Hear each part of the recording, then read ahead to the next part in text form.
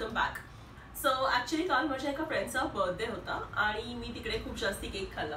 कारण की मला गोड पदार्थ खायला खूप आवडतात. सो फ्रेंड्स असे लोक ज्यांना गोड पदार्थ खायला किंवा प्यायला खूप जास्ती आवडतात अशा लोकांबद्दल इंग्लिशमध्ये बोलताना आपण हॅविंग अ स्वीट टूथ हा इडियम वापरू शकतो okay for example she has a sweet tooth तिला गोड खायला आवडतं.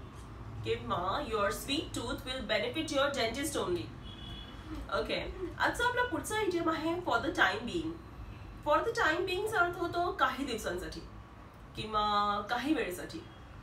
Okay for example she staying with her aunt for the time being okay किंवा we we shall put it aside for the time being right हा video आवडला असेल तर please like करा शेअर करा आणि हे चॅनल सबस्क्राईब करा आणि असाच एक व्हिडिओ घेऊन आपण पुन्हा भेटूया. टिल देन टारा